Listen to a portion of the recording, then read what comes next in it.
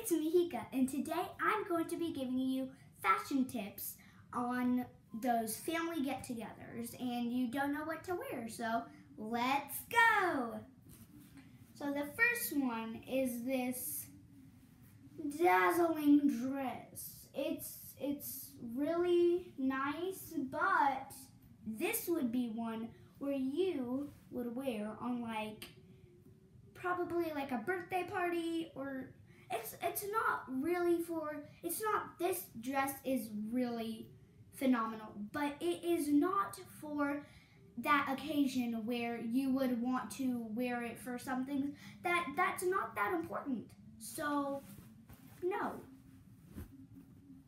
The next one is this. I know it looks pretty bad but don't don't mind this. Don't mind the zootopia people on here just this silk, or not silk, sorry, this cotton, it's so like, not really, it's so thin.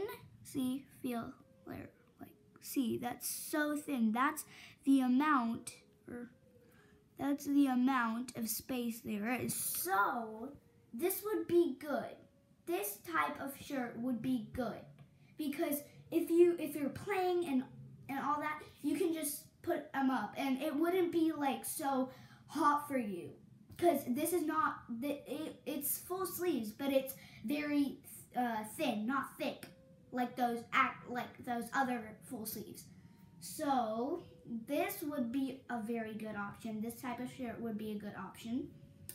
And the next one is definitely not something you should wear I mean, you should look good. Like you should you should not go for like the best best.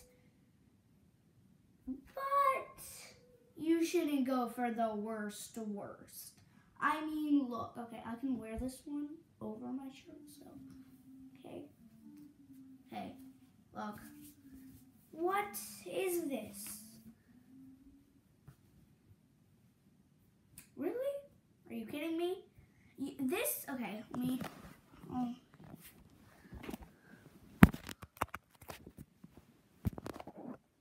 Uh, okay, there. This seems like you don't care. This really makes it seem like you don't care that your family's together and I know it's awkward, but not this awkward. Okay, goodness. Okay. Take this off. Ah, glasses. Okay. this.